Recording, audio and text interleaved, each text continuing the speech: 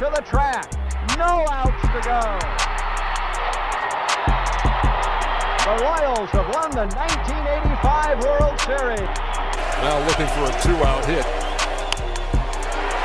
Forward into left field. Kansas City Royals are walking off into the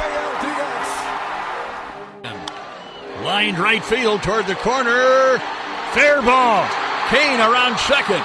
On his way to third. He's going to try to score. Here he comes. Throw not in time. He declared the winner. Ground ball third. Moustakas has got it. To first. Royals win it. Royals win the series. What a finish. Four to three. And the boys celebrate in the center of the diamond.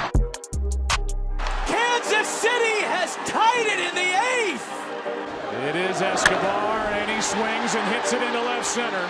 Back at the track, it is dropped. Cespedes couldn't make the catch. How about that effort? Digging around third. Here comes Escobar. 1 nothing Kansas City. Gordon in the air to center. Back at the wall. This game is tied.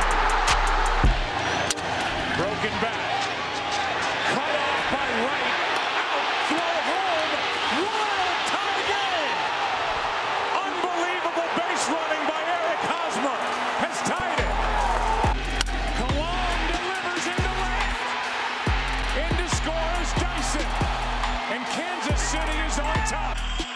One ball, two strikes.